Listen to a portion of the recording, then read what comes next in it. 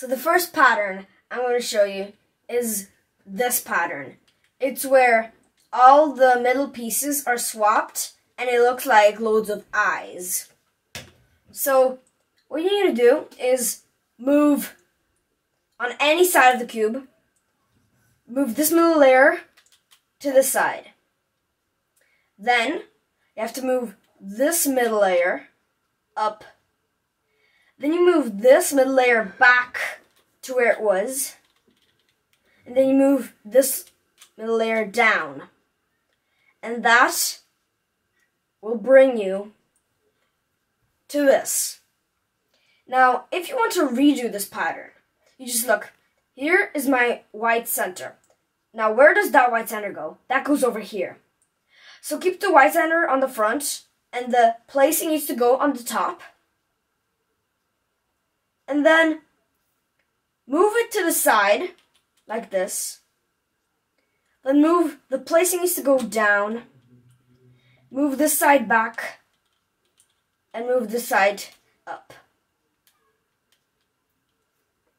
So, the next pattern, it looks like this. It's like a checkerboard. So here, we need to move the middle layer twice up. Then we need to move this middle layer twice to the side. Then we just need to move the cube and do the middle layer up again. And that will bring you to the checkerboard.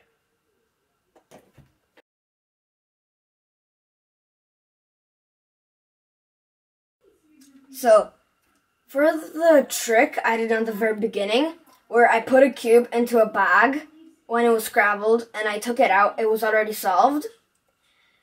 So I'll just get a paper bag, and what you need to do here is do these moves.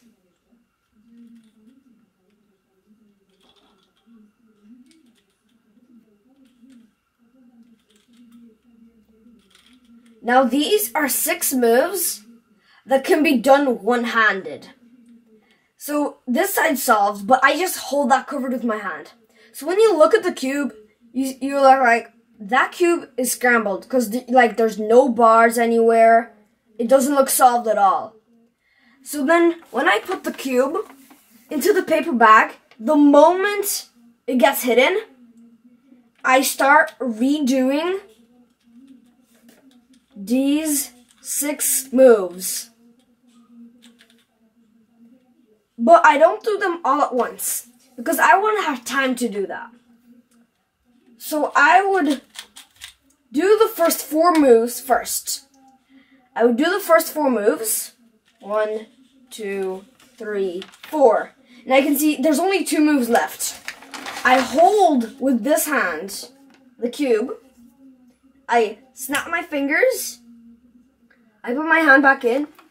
And I finish those two moves while I'm taking the cube out.